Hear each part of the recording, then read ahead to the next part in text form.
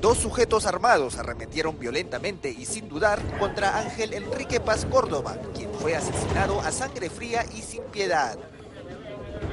La víctima se encontraba cenando en esta pollería del asentamiento humano Luis Felipe de las Casas en Ventanilla, lugar hasta donde los sicarios lo siguieron para cumplir su objetivo. Y de repente escucho, ta, ta, ta, y salí carrera, como estaba acá la entrada, salí carrera, me metí a acá unos vecinos, estaba abierta su puerta y no escuché más.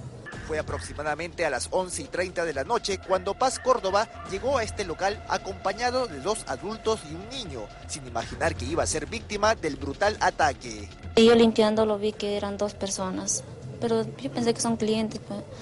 Avanzaba en limpiar todavía para ir a atender. La víctima habría recibido hasta 10 impactos de bala que terminaron con su vida automáticamente, lo que deja en evidencia el ensañamiento de los delincuentes.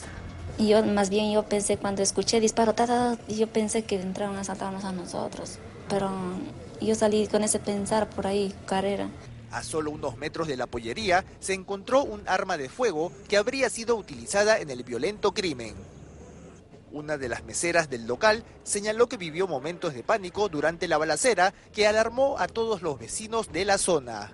Llegaba llorando ahí a los vecinos, me sentaba en su mesa que tienen afuera en su salita y me sentaba ahí, ahí a llorar y no me movía de ahí salí cuando ya los clientes estaban saliendo. De acuerdo a las primeras indagaciones, Paz Córdoba sería trabajador de construcción civil y el crimen se habría tratado de un ajuste de cuentas. Los peritos de criminalística de la Policía Nacional llegaron hasta el lugar para recoger evidencia a fin de identificar a los homicidas.